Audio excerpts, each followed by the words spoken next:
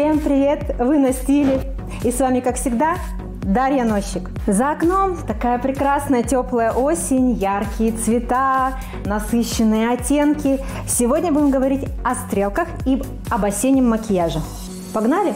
Стрелки всегда были в моде. Невозможно представить таких икон стиля, как Мерлин Монро, как Софи Лорен, еще у нас был? Как Одри Хёбберн. Действительно, без стрелок. Они их сопровождали всегда. Тонкие, широкие, изящные, хищные стрелки всегда украшали женский образ. Я вам покажу, как выбрать карандаш.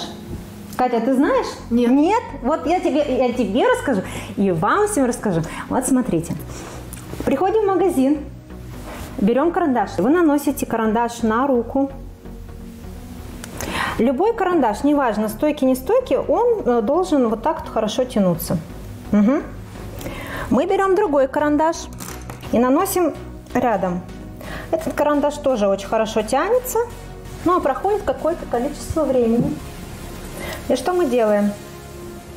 Тот карандаш, который не стойкий, он продолжит у нас тянуться в разные стороны. А тот карандаш, который был у нас стойкий, все, он зафиксировался и никуда не двигается. То же самое касается подводок, тоже касается гелевых подводок. И если вы захотите использовать помаду для того, чтобы нарисовать стрелку, вы тоже должны выбрать очень-очень стойкую текстуру. Чего мы начинаем рисовать наши стрелки? Берем карандаш и прокрашиваем, смотрим вниз, слизистую прокрашиваем межресничное пространство. Без этого ни одна стрелка не может существовать. Объясню почему. Если у нас будет светиться с вами слизистая, у нас будут стрелки отдельно, ресницы отдельно, глаз отдельно. Когда мы прокрашиваем слизистую, у нас все собирается в одну композицию, и наша стрелочка выглядит очень красиво, однородно и изящно. Наша стрелочка будет выходить прям из самого-самого уголка глаза. Сделали вот такую засечку.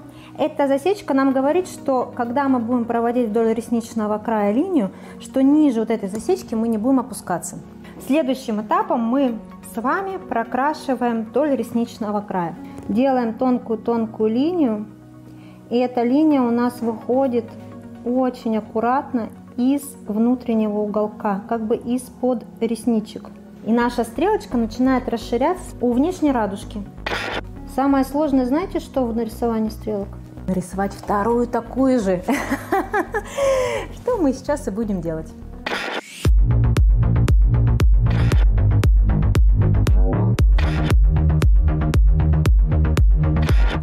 Выбираете черную стрелку, Помните, что тем самым вы создадите очень графичную стрелку, очень яркую, очень, я бы сказала, торжественную. Такая стрелочка подойдет для вечернего макияжа. Если вы хотите стрелочки носить каждый день, выбирайте коричневую подводку, особенно это касается блондинок, либо коричневый карандаш.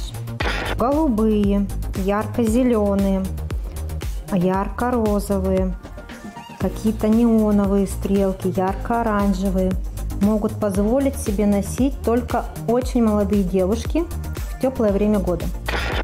Ну вот наши стрелочки готовы, красивые, изящные, в трендовых оттенках. Вы были на стиле. Пока-пока.